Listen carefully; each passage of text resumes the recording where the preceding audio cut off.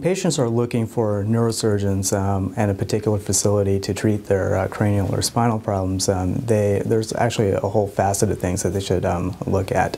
One is the physicians that are at that institution. Um, I think um, you can't um, uh, really underplay the importance of um, training. You want to make sure that um, the physicians at that facility are trained for the for whatever particular problem uh, they may be looking to get treated. Um, not only should they look into uh, the places where they did their training in terms of residency, but do those physicians have uh, subspecialty fellowship training um, in that particular area, such as spine or uh, cranial base or epilepsy surgery.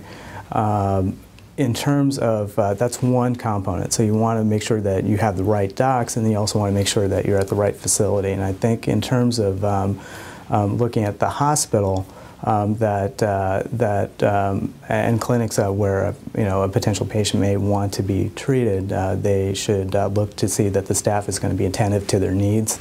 Um, that you know when you walk into clinic, that you're treated like a person um, and. Uh, um, not just as uh, somebody on a, on a waiting list um, to, to get in to see a doctor for five minutes. So you really want to make a connection um, with um, the person that's going to be treating you. And you need to feel comfortable, um, not only in their ability to treat you, but in the environment that they're going to treat you in.